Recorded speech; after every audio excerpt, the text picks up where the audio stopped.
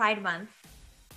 You came out last year, which is amazing. And I feel like the reception has probably been awesome. You also recently talked about coming out. So, first of all, for you on your end, what has the reception been like? Oh, what a great question. Um, you know, when I came out a year ago, I really thought that was going to be it. And I thought I had like said it. and I thought everybody just like knew. And I also think that because I have been out in my own personal life since ever since I can remember, I think the first time I had a conversation about my sexuality, I was like eight years old with my mom. And anybody who I've met since then, it's very like, oh yeah, I'm. I guess my whole life I've said I'm I'm bi. Oh yeah, I'm bi, and it's just been sort of like a oh okay. Nobody's ever been like what because I think I do present with energy that is not you know conducive to. I, I don't think it's like a big shock ever once you get to know me really. And so when I came out last year, I really was like, oh great, and and there it is, right? And then when the Gay Times cover came out last week, I was shocked with how many people were shocked. It's been interesting. It's definitely been interesting. I think like um, last year, last year felt safer to me because I, I there just wasn't as much of a reaction, and so I was kind of like, oh, okay, great, great. And then this time around, I woke up. I just didn't realize how it's an interesting feeling when something's so intrinsic and and like pure about who you are um, means anything at all to people, which is not to say that I'm surprised by that or I didn't know that. It's an interesting feeling. Pressure or almost it just feels like suddenly everybody's in your living room. Like it just suddenly feels like everybody yeah, it's very strange and there aren't that many things that um, I feel that way about because obviously I think you know me, I'm very, very open. So it's been an interesting like week processing that with the amount of text messages I got and lovely, lovely support, like a lot of support uh, from my like, you know, queer family, my LGBTQ family and important people in my life or people who I barely know. You know, it's been really, really wonderful. I think it's just a sort of a an adjustment to um, being witnessed in that way by by people who aren't important to you. You know like the world has an opinion about something that is so um, just natural. I'm definitely adjusting to that but it's um it's it's for, for the most part it's been really really wonderful and it feels um, new. I feel very new. I love that and i'm just so happy for you.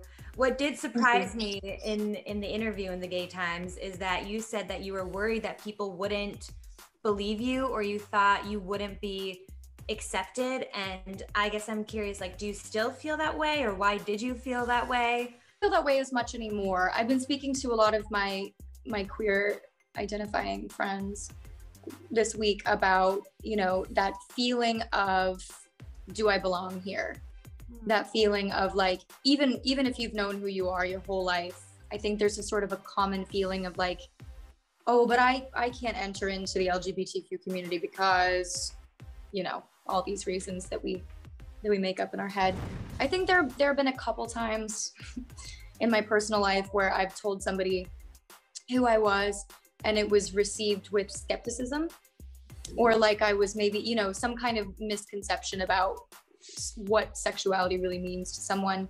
You know, I think there have been a few times where I've I've I've stayed purely and simply who I am and someone's gone, uh, but not really, right? But not really. You're so girly or you know you're so right as if you this or, fit into a box or something. Right right and i think that because of that and because it is something so personal I, in my head i was like oh god what if that happens all over the world? What if that happens at a mass scale and then i'm constantly defending something that is something that is just like so me and so intimate I don't want to be, I don't want to do that. Am I ready to feel that way all the time?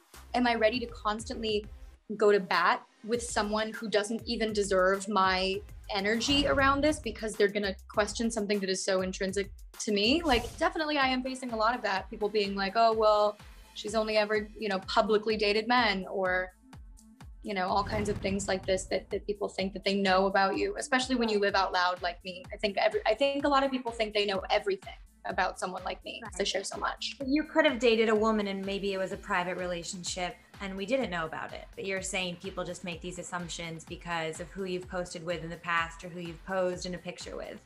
or you know they think i'm feminine and they think that femininity has something to do with sexuality it's you know it's all very like enmeshed and broken and but yeah i'm i am i am definitely like you know i think it was very important that i did that for myself and also for my young fans who are so impressionable. I think that it's so important. Um, i did it for me. I did it for me.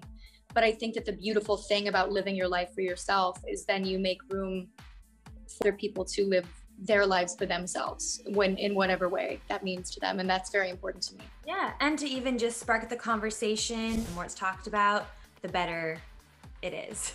Oh yeah. No we need to destigmatize like basically everything right? Like stigma is such an ego based like unnecessary you know it's like it's old it's old we're bored you know i think we just need to destigmatize everything and rehumanize everything and then we'll be like what, what does pride month mean to you at this point? Oh, well, this is going to be my first Pride Month, like really, really out. So, um, my friend, I know, yay! My friend texted me the other day and was like, this month is for you. And I was like, oh, you know, it's like, it feel, I was like, wow, there's a lot of like emotion around um, my coming out that I didn't really anticipate because I've always been out in my, in my private life. So I was sort of like, ah, emotion, you know, it's like I had to be just like, I was, I knew I was going to come out, but it's very uh it's different different you know?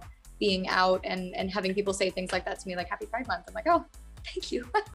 Thanks. I'm you know i'm usually the one wishing happy pride month and counting myself like an ally. Yeah. So so yeah it's special it's special i need to figure out what i'm gonna do I think it's amazing and I'm so happy for you and I'm so happy that your story is out there and that people um, are receiving it so well and learning and that it's been such a positive thing. Yeah, thank you. Thank you.